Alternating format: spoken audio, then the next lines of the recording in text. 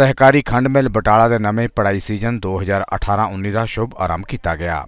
ਜਿਸ ਦੇ ਉਦਘਾਟਨੀ ਸਮਾਰੋਹ ਵਿੱਚ ਮਹਿਮਾਨ ਵਜੋਂ ਸਹਿਕਾਰਤਾ ਮੰਤਰੀ ਸੁਖਜਿੰਦਰ ਸਿੰਘ ਰੰਧਾਵਾ ਸ਼ਾਮਲ ਹੋਏ। ਸ਼੍ਰੀ ਅਖੰਡ ਪਾਠ ਸਾਹਿਬ ਦੇ ਭੋਗ ਉਪਰੰਤ ਸੁਖਜਿੰਦਰ ਸਿੰਘ ਰੰਧਾਵਾ ਤੇ ਹੋਰ ਮਹਿਮਾਨਾਂ ਨੇ ਡੂੰਘੇ ਵਿੱਚ ਗੰਨੇ ਪਾ ਕੇ ਨਵੇਂ ਪੜਾਈ ਸੀਜ਼ਨ ਦੀ ਆਰੰਭਤਾ ਕੀਤੀ। ਇਸ ਮੌਕੇ ਤੇ ਸਰਦਾਰ ਰੰਧਾਵਾ ਦਾ ਕਹਿਣਾ ਹੈ ਕਿ ਪਹਿਲਾ ਗੰਨਾ ਲੈ ਕੇ ਆਏ 11 ਕਿਸਾਨਾਂ ਤੇ ਨਵੇਂ ਬਣੇ ਬੋਰਡ ਆਫ ਡਾਇਰੈਕਟਰਸ ਦੇ 9 ਡਾਇਰੈਕਟਰਾਂ ਦਾ ਸਨਮਾਨ ਵੀ ਕੀਤਾ ਜਾਵੇਗਾ। ਕਿ ਜਿਹੜਾ ਇਹਨੂੰ ਅਹ, 3500 ਟੀਸੀਡੀ ਕਰਨਾ ਔਰ ਇਹ ਜਿਹੜੀ ਇਹਦੀ ਟੋਟਲ ਕਪੈਸਿਟੀ 5000 ਮੈਟ੍ਰਿਕ ਟਨ ਰੋਜ਼ ਦੀ ਹੋਏਗੀ ਜਿਹੜਾ ਗੰਨਾ ਚੁੱਕਿਆ ਜਾਏਗਾ। ਨਾਲ ਹੀ ਇਹਦਾ ਕੋ ਜਨਰੇਸ਼ਨ ਜਿਹੜਾ ਪਲਾਂਟ ਆ ਉਹਨੂੰ ਅਸੀਂ ਕਰਾਂਗੇ ਉਹ ਨਾਲ ਲਵਾਂਗੇ ਕਿ ਬਿਜਲੀ ਵੀ ਇੱਥੇ ਤਿਆਰ ਹੋਵੇ। ਔਰ ਇਹਦਾ ਕੋਈ 220 ਕੁ ਕਰੋੜ ਰੁਪਏ ਦਾ ਇਸ ਵੇਲੇ ਜਿਹੜਾ ਬਜਟ ਬਣਿਆ। ਔਰ ਅਸੀਂ ਉਹਦੀ ਜਿਹੜੀ ਹੈ ਕਿ ਸਬ ਕਮੇਟੀ ਨੇ ਅਪਰੂਵਲ ਦੇ ਦਿੱਤੀ ਆ।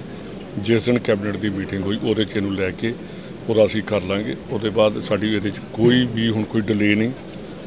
ਔਰ ਇਹਦੇ ਜਿਹੜੀ ਹੈ ਕਿ ਇਹੀ ਹੈ ਕਿ ਸਾਡੀ ਜਿਹੜੀ ਡੀਪੀਆਰ ਪ੍ਰੋਜੈਕਟ ਰਿਪੋਰਟ ਉਹ ਵੀ ਤਿਆਰ, ਸਭ ਕੁਝ ਤਿਆਰ ਹੋ ਕੇ ਅਪਰੂਵਲਾਂ ਸਾਡੀਆਂ ਤਿਆਰ ਨੇ।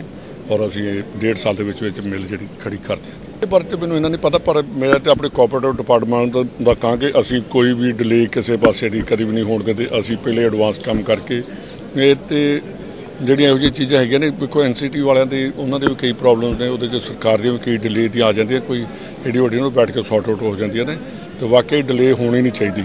ਕਦੇ ਵੀ ਜੇ ਹੁਣ ਅਸੀਂ ਮਿਲਾਂ ਜਿਹੜੀਆਂ ਸਟਾਰਟ ਕਰਨੇ ਤੇ ਇਹਨਾਂ 'ਚ ਕੋਈ ਡਿਲੇ ਨਹੀਂ ਆਏਗੀ ਔਰ ਸਭ ਅਪਰੂਵਲਾਂ ਅਸੀਂ ਲੈ ਕੇ ਇਹਨਾਂ ਨੂੰ ਤਿਆਰੀ ਕਰਕੇ